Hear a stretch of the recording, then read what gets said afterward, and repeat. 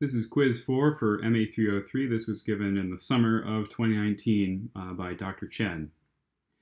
We have question one, find the Fourier series of the square wave function defined here.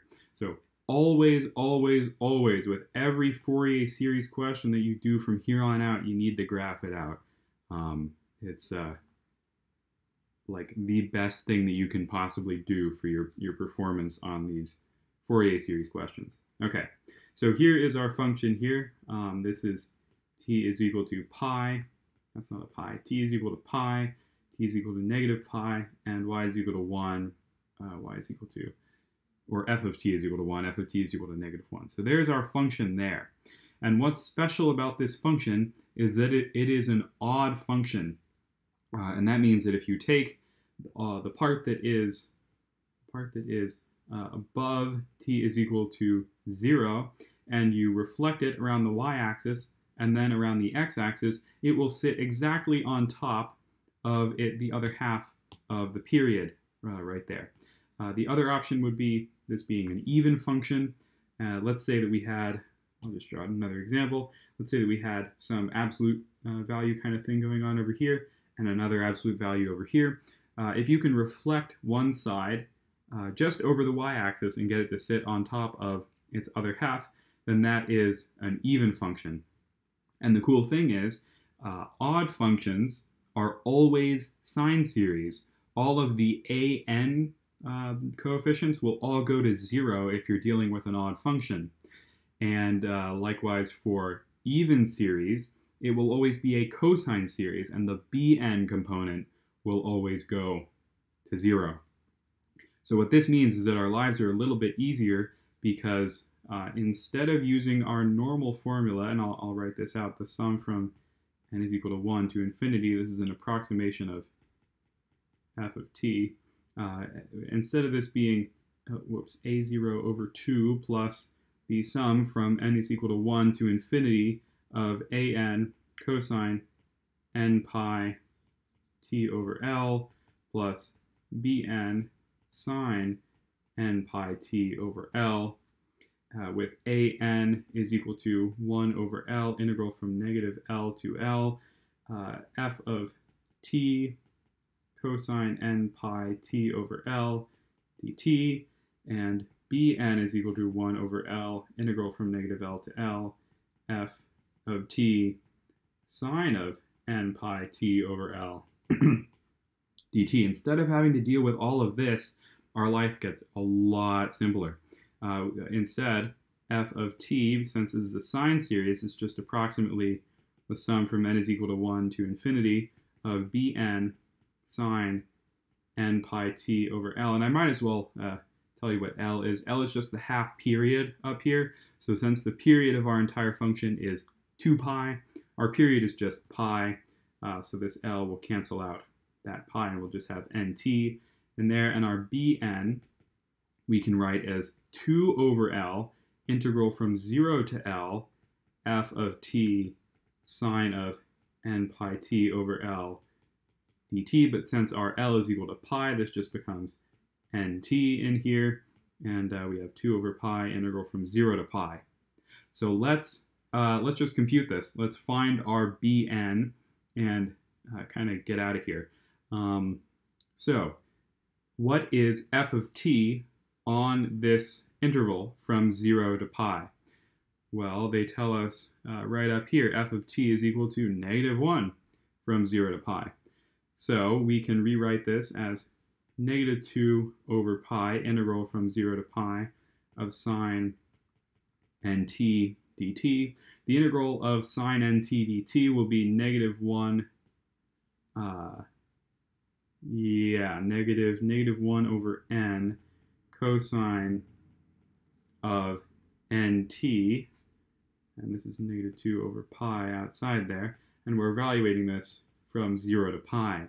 Plugging in pi, we get negative 1 over n cosine of pi n, or n pi, and the cosine of n pi, if we plug in n is equal to 0, or sorry, we, we don't deal with 0, but n is equal to 1, uh, what are we going to get? Uh, that's just going to give us uh, the cosine of pi, which is negative 1. Uh, if we plug in n is equal to 2, we will get uh, sorry, 0.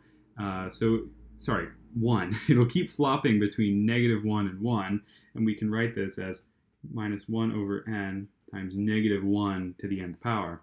And then plugging in 0 down here, we'll just get negative 1 over n. So overall, we have negative 2 over pi, negative 2, uh, negative 2 over pi times negative 1 over n times negative 1 to the n plus 1 over n.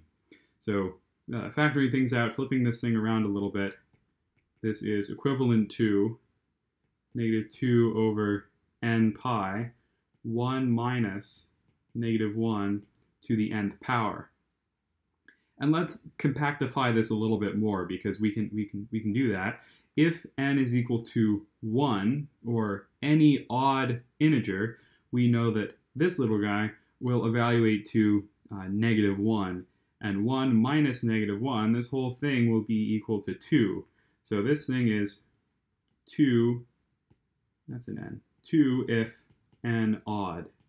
But what if n even? Well, if n even, then this will be uh, positive 1 here, and 1 minus positive 1, that will be 0. So 0 if n even. And what this means is that we can write an, or sorry, this is bn, I got that right up here, right? Okay, good. Bn is just, uh, let's see, negative 4 over n pi for n odd. And I hope you see where that's coming from. Uh, if n is even, we get 0. If n is odd, we'll just multiply this thing by 2. Okay, so 4 over n pi. Negative 4 over n pi, that's great. Uh, since we know that our full equation is just bn times sine of nt under that sum, we can say that f of t is approximately the sum from n is equal to 1 to infinity of negative 4 over n pi, but I got to be careful here because it's not the sum from n is equal to 1 to infinity. It's n odd to infinity. So all of the odd integers from 1 to infinity, sine nt, and sometimes you'll see this rewritten uh, with the constant, pulled out. So minus 4 over pi integral, sorry, that's the, that's the sum from n odd to infinity of sine nt over n. And if we go take a look at our answer key, we will see, uh, yep, exactly, exactly that. So that's great. Moving on to question number two. Let's copy this guy over. Whoops, I think I missed part of it. Question two, let's show that the following system is almost linear with 0, 0 as a critical point. So we're actually going to work backwards a little bit here. Uh, we're going to show that it's linear at the very end, and we're going to uh, linearize it ahead of time. So let's prove that 0, 0 is a critical point. Well, any critical point must satisfy dx dt and dy dt equals 0. So 0 is equal to 1 minus e to the x plus 2y, and 0 is equal to negative x minus 4 sine y. Plug in 0, 0 here, we get 0 is equal to 1 minus 1 plus 0, which is true, and 0 is equal to 0 minus uh, 4y of 0 will just be 0. So yeah, this works. Uh, that is that is a critical point there.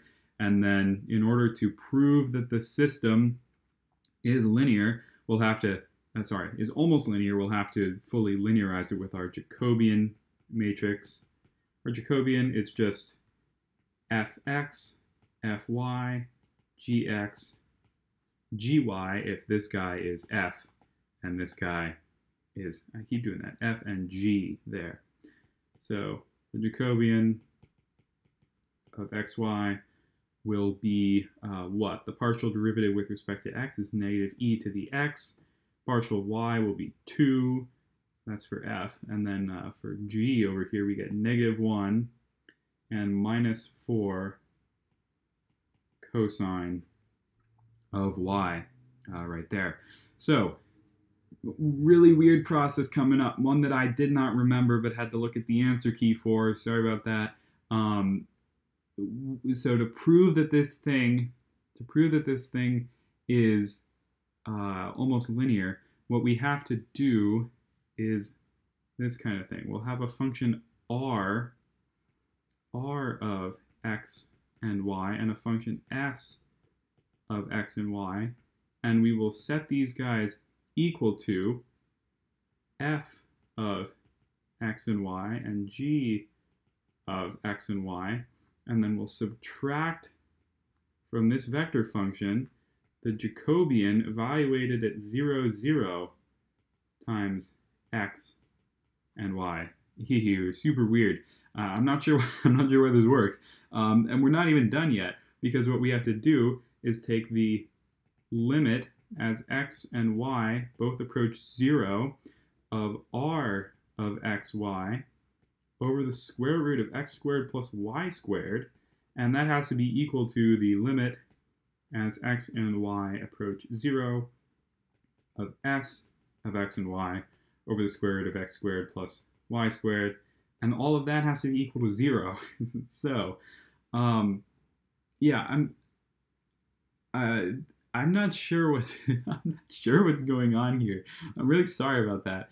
Uh, but let's just figure out what these are. So the Jacobian at 0, 0, so uh, here, the Jacobian at 0, 0 will be negative 1, 2, negative 1, negative 4. So we can plug that in and multiply it by xy and get negative x plus 2y minus x minus 4y. And uh, let's replace this, this uh, f of xy and g of xy here. f of xy is just going to be 1 minus e to the x. Oh no, someone's calling me. I have no idea who that is. I'm going to hang up on him. Um, okay, sorry about that. I'm getting really distracted. And then we'll replace our g of xy with uh, this guy right here, which just comes from here. So minus x minus 4 sine y. And okay, uh, what is what is this? Well, r of xy will be 1 minus e to the x plus x, and then 2y minus 2y will just give us 0. And then what about our second, uh, our second component down here? We will get negative x plus x, so that's 0, minus 4 sine y will stick around, and then we're adding 4y.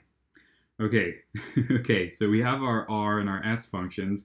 We can replace them down here. 1 minus e to the x plus x, and minus 4 sine y plus 4 uh, y. God, I haven't taken a limit in a in a very in a very long time. Um, okay, well, apparently these limits are zero.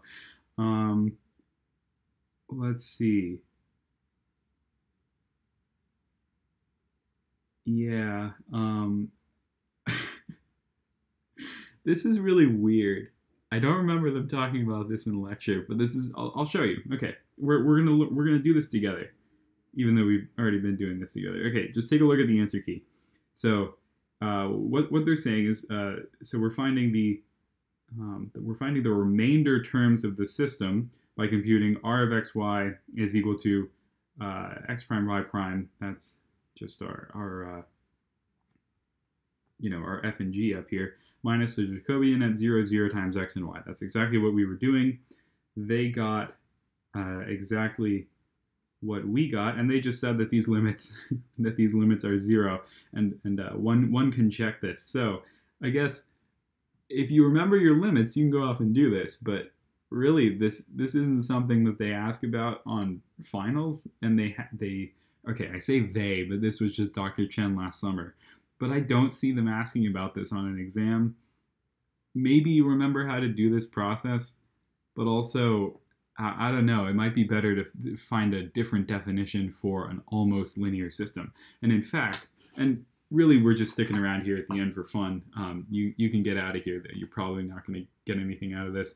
Let's just Google almost linear system and see if there's some nicer definition that we can use uh, to figure figure this out. Okay, this is really dumb, but I did find a definition, and it's pretty circular.